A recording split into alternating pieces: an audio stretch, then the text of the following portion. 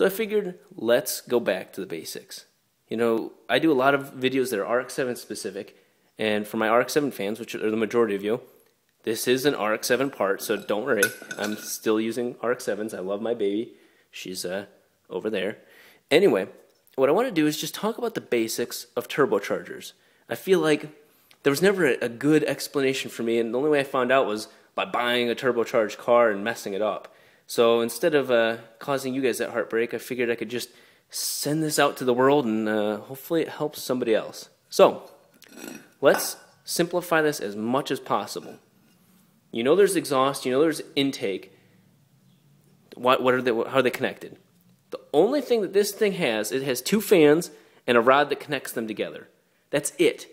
Nothing is shared. There's just two fans and there's a rod connecting them together. Remember that. Always go back to that. I was so confused with all the other things, but that's it. Exhaust gas. When you put your hand over an exhaust pipe, you feel that you know, there's a little bit of pressure. You feel that. What that, what the concept there was, why don't we take that exhaust gas, feed that through a system, and just spin a fan. That's all there is to this. Exhaust gas goes through here, spins in a nice little circular pattern, comes out as a nice little fan spinning. So right through the center of this fan right here is an axle.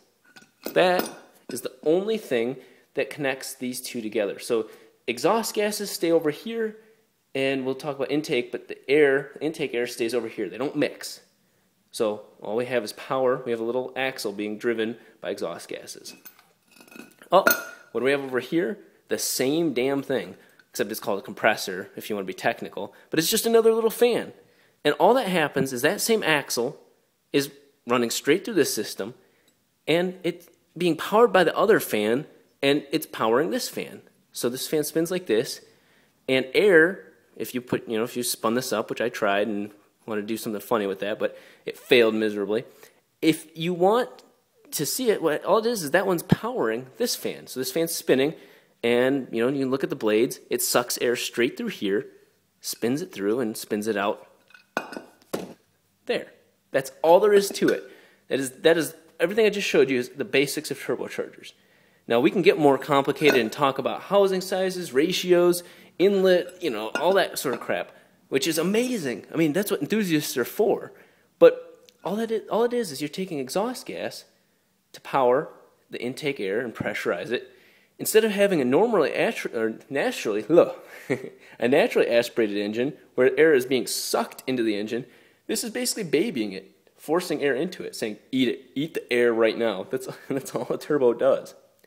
Now, the one last little tidbit of information I can tell you is if you're, if you're brand new to this, you're going to say, well, doesn't that, doesn't the exhaust powering that fan, doesn't that take a little bit of energy? And you're right, it does. In overall general, you know, concept of things, it takes about 2% of your total energy of the engine to power the exhaust side. Now, to compare that to a supercharger, which uh, is a totally different concept, um, that takes about 10%. So it does take a little bit, but you gain so much more um, in the end. So you can you know, get as complicated as you want, but that's it. This is a turbocharger.